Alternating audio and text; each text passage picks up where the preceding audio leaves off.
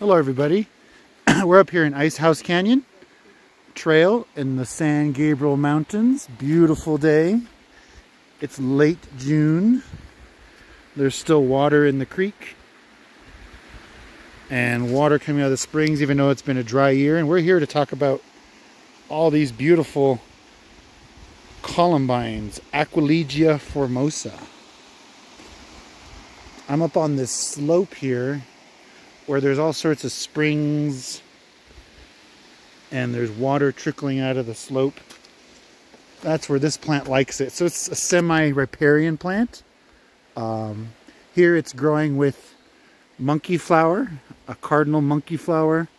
The tree is our, um, this is an alnus, um, rhombifolia. So this is, forget the common name, alder, there we go.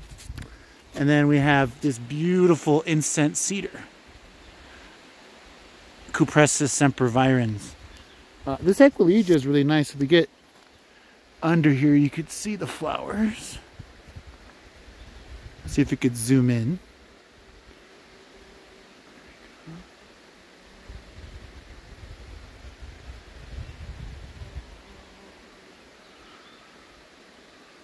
Really cool plant.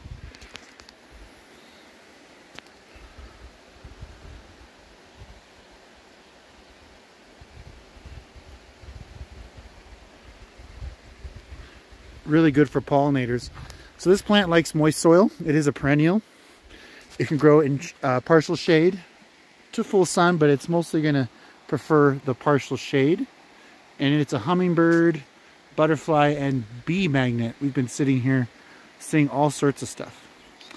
Also blooming right next to me is this monkey flower. Let me show it to you, then I'm going to be quiet and let you look at the beautiful flowers. Here's that beautiful cardinal monkey flower right here.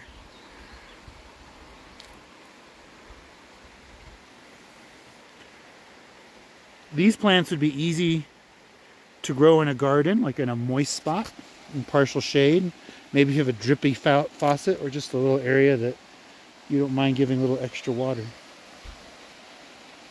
So again, Columbine, this one is Aquilegia formosa.